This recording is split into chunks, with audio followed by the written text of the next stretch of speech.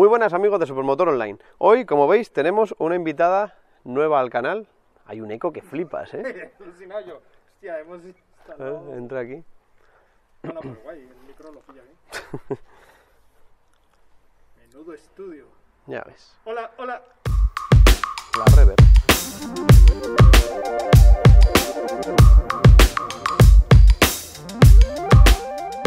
Muy buenas amigos de Supermotor Online. Hoy tenemos, como veis, una invitada que llega nueva a nuestro canal como marca y es Yamaha y lo hace de la mano de esta exclusiva XSR 700. Una moto naked que deriva de la MT-07 pero con unos aires un poco más neo-retro, neoclásicos, vintage, como queréis llamarlo. Lleva el mismo motor de 700 y 75 caballos en un bloque de dos cilindros. Así que nada, vamos a analizarla y a ver qué tal se comporta.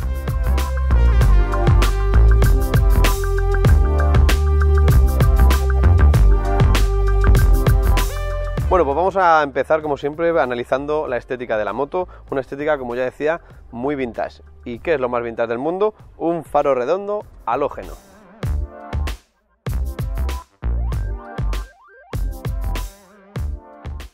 En este caso Yamaha ha preferido ir a lo más clásico y nada de, meter LED ni nada. El frontal es completamente mmm, clásico, como decía, ya que tiene este faro redondo de gran formato como veis y a los laterales aprovechando los soportes llevamos los intermitentes también halógenos. Si seguimos hacia abajo tenemos un guardabarros de mmm, tamaño considerable, bastante largo y con unas líneas muy uniformes y con este detalle de diseño que es la propia sujeción del guardabarros en aluminio cepillado. Como veis la horquilla es convencional, la horquilla que luego os hablaré en movimiento qué tal se comporta, porque es una de las, de las pegas que todo el mundo pone tanto a la MT-07 como a la XSR. Pero bueno, acabado en cromo, muy sencilla y cumple su función. Y abajo las ruedas tenemos doble disco de 282 milímetros con una pinza flotante de dos pistones. Y como no, no me voy a olvidar de la llanta en este acabado dorado que le sienta tan bien al conjunto. Pero vamos al lateral, que es donde está toda la chicha. Tenemos un depósito, también en forma de gota de agua, pero bastante más musculado, bastante más robusto de lo convencional en una moto clásica. Con esta combinación que tenemos un protector en rojo y todo el lateral en blanco con esta línea negra que le queda muy bien, aparte del logotipo de Yamaha también en ese mismo negro. Eh, más abajo tenemos más piezas de plástico, en este caso rugoso, son protectoras de, de, todos los componentes que tenemos dentro. Esta tapa también embellecedora a modo de clásica también. Y luego ya tenemos el bloque motor que como veis, aquí tenemos el logotipo del CP2, que es crossplane de dos cilindros, que es el que lleva esta moto. Si seguimos hacia atrás, en la parte de abajo tenemos la salida del escape, la misma que llevamos en la MT-07, un escape muy cortito, muy para, para centrar el, todo el peso en la parte central de la moto, para darle estabilidad. Y bueno, en cuanto a sonido, luego os la arranco y, opináis vosotros mismos. Por la parte de arriba, un asiento bastante alto, con sensación de, buen, buen, confort, de, de ser mullido. Tenemos un acabado en dos materiales diferentes. Tenemos en la parte de arriba una piel ya cuarteada, para darle ese aire retro con los pespuntes en blanco y luego una parte toda la parte inferior y toda la zona del acompañante está acabado en este tipo de ante bastante más frágil. A la lluvia, a las manchas es un poquito más frágil que, la piel que se limpia muy bien pero queda bien esta combinación.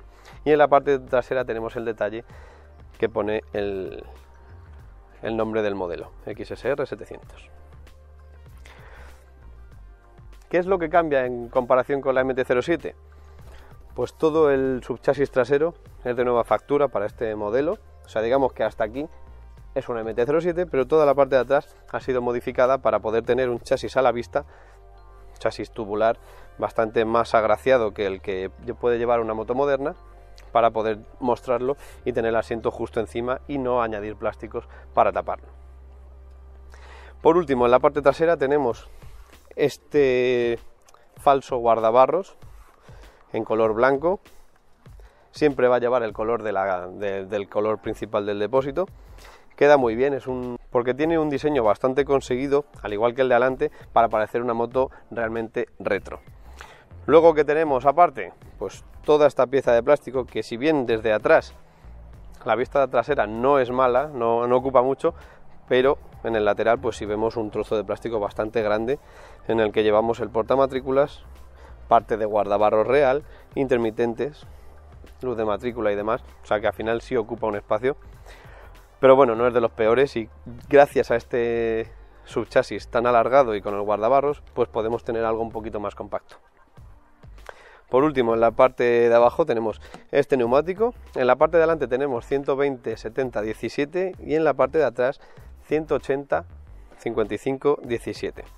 Llevo unos Pirelli Phantom, un, un neumático que también podemos encontrar en Triumph y en Royal Enfield, por ejemplo. Es un neumático de, para un uso continuo, no es deportivo, pero tampoco es muy blando. Nos puede durar más de 15.000 kilómetros si nos lo proponemos, así que es muy buena opción y tiene un dibujo bastante diferente y que le da ese toque retro también. Por último, en los frenos tenemos una sola pinza flotante de 245 milímetros firmada por Nissin con un solo pistón. Y nada, me subo con mi 1.74 para que veáis qué tal me queda. Llego bastante bien. Es muy estrecha en la zona de, las piernas, por lo tanto podemos llegar sin, sin, arquear demasiado las piernas y por eso llegamos bien. Sí se nota un poco más alta que la MT-07, pero también, y en principio es una moto un poquito más confortable que la MT y además notamos el manillar algo más ancho también que la MT-07, por lo que podremos tener un poquito más de confort en cuanto a carretera, a curvear y demás, y la MT es un poquito más estrecho que para ciudad nos puede venir mejor. Las estriberas están en una posición bastante cómoda, para nada deportiva, tampoco es de paseo, como ya veréis también en, en la MT-07 cuando la tengamos y demás, pero se hace muy cómoda de llevar, no vamos cargando el cuerpo hacia adelante ni en las muñecas, ni vamos con las penas muy hacia atrás, es una moto pues para hacer muchos kilómetros, pese a que luego por ser naked el aire nos jugará la contra. Pero es muy cómoda. Otro dato curioso que tiene esta Yamaha y la MT-07 es que la llave se encuentra detrás del propio cuenta kilómetros, entre el faro y el cuenta kilómetros, una posición algo extraña, pero te vas acostumbrando. Y como veis tenemos minimalismo puro en el cuadro de instrumentos, totalmente digital, monocromático. Y ya en la pantalla principal esto es lo que tenemos. Tenemos un cuenta vueltas en la zona exterior de, del diámetro de, la pantalla y luego en la parte de abajo el nivel de gasolina, luego el cuenta kilómetros, la velocidad y la marcha en granada. Y luego ya a través de estos dos botones podremos ir avanzando en la info. Tenemos parcial de kilómetros 1 y 2, consumo instantáneo, consumo medio, temperatura del motor, temperatura del ambiente y la hora. O sea que tenemos toda la información disponible en una moto en una pantalla bastante pequeña pero que se ve muy bien tanto de día como de noche ahora mismo le está pegando el sol a muerte y se ve muy bien así que aunque no tengamos una pantalla de última generación es una pantalla bastante funcional y muy pequeñita que en el fondo cuando la tengamos que ver vamos a ver todo bien y sin, sin ir a tamaños excesivos.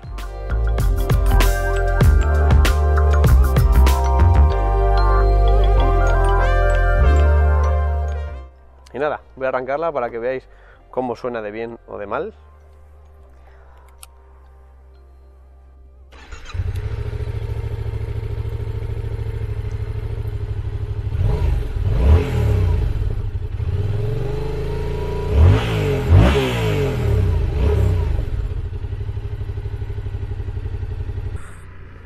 Pues aquí estamos ya a los mandos de la Yamaha XSR 700 como ya os decía antes, una moto basada en la plataforma de la Yamaha MT-07, es decir, lleva el mismo motor, misma parte ciclo, motor de 700 centímetros cúbicos, 689 para ser más exactos, y una potencia de 75 caballos. Como ya dicen las siglas de MT, son los Masters of Torque, es decir, los maestros del par motor. Y bien es cierto que aunque en datos están en la media, que para un motor de 700 tiene tiene un par de 68 Nm. Sí es cierto que la manera en la que lo da y cómo lo entrega es muy muy enérgica. Es una moto muy divertida que puede aparentar incluso más potencia de la que en realidad tiene. Y eso es ayudado de este tipo de, de motor bicilíndrico en línea que la hace muy muy muy potente a bajas vueltas. Sube, sube enseguida de vueltas. El, el 0 a 60 es impresionante y podría codearse con motos de más cilindrada. Ya una vez más arriba del cuenta vueltas, la moto se vuelve más dócil, más, menos sorprendente, como la mayoría de las bicilíndricas, pero aún así se mantiene bien. Es una moto que alcanza unas velocidades máximas muy por encima de, lo permitido. Y, me gusta este, este toque que le han dado a esta moto de neo retro para aquellos que le gusta el motor, pero no le convence la estética moderna de la MT. Además, yo creo que mm, parece más moto, es más, más robusta, más un poco más alta. Da la sensación de tener un poquito más de, de, de, sensación de, moto gorda que la MT. Pero un poquito nada más, sobre todo con los últimos restyling de la MT y el último diseño.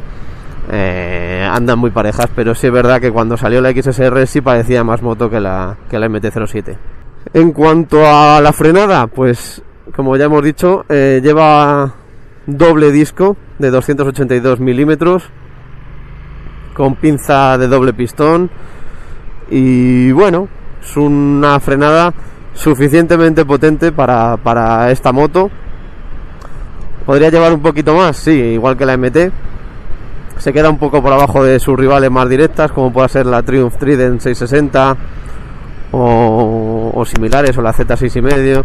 Pero bueno, es una frenada, es buena, es contundente, tiene buen accionamiento. El ABS no es muy intrusivo, o sea que en ese caso va, va muy bien, aunque pudiera ir mejor. Y en cuanto a las suspensiones, pues es el problema que tiene la MT-07, el mismo, eh, a la hora de frenar, de, tomar curvas rápidas. Eh, hunde bastante, es muy blanda. Tanto en la MT-07 como en la 09 la gente siempre intenta modificar esa suspensión, hacerlo con un tarado más duro. Pero bueno, yo creo que para el uso que tiene esta moto, está destinada a un uso urbano y con un poco de, de carretera y demás. Yo creo que es aceptable. En ciudad es muy cómodo pero claro, si buscamos ese aspecto deportivo, se va a quedar un poquito a medias, pero porque no es una moto deportiva. Si queremos más deportividad, tendremos que irnos a una moto más capaz. Esta moto es para el día a día, por mucho que, tenga una rueda de 180 o un aspecto más deportivo, igual que la MT. En la realidad es que no, es más apariencia que, uso deportivo. No quiere decir que no sea una moto veloz, ni potente, ni que sea divertida, pero no es la más divertida y por lo tanto lleva componentes para ser polivalente más que otra cosa y probablemente esta moto se use más generalmente en ciudad que en carretera. Y en cuanto a equipamiento, pues eh, van a mínimos, tiene el ABS porque es obligatorio, pero no tenemos control de tracción, no tenemos modos de potencia, va a lo básico. Pese a todo, tenemos un precio de 7.600 euros que bueno, no es lo más barato, pero sí es verdad que, esta moto eh, tiene un toque de distinción que han conseguido que parece un poquito más exclusiva que el resto. Toda la gama de, de Sport Heritage de Yamaha tiene ese aire medio premium que bueno, eh, con el que justifican esa, esa subida de precio comparado con la MT. Pero bueno, para gusto los colores. Es una moto muy, muy, muy, muy bonita para mi gusto, aunque eso ya depende de cada uno. Y con un motor más que probado, más que fiable, divertido, eficiente. No olvidemos que eh, podemos bajar en los 4 litros si queremos y aunque la apretemos mucho, vamos a estar en torno a los 4,5 litros a los 100. Que con el depósito que tiene de 14 litros nos podremos ir a unas cifras de autonomía eh, cercanas a 300 kilómetros, que sin ser una barbaridad, para una moto naked está en la media y está muy bien. Por último, en cuanto a ergonomía, el manillar, como ya os he contado antes, está bastante elevado, tiene mm, un sentido de la comodidad muy bueno. Llegamos bien, llegamos de sobra, es, es muy confortable la postura de esta moto. Y el asiento, pese a ser eh, alto y mullido, puede que no sea el más cómodo del mercado, pero bueno, sí es más cómodo para mi gusto que el de una MT-07. Se nota un poquito más de confort, aunque no mucho, pero, pero sí. Es cómodo y se puede hacer kilómetros sin problema.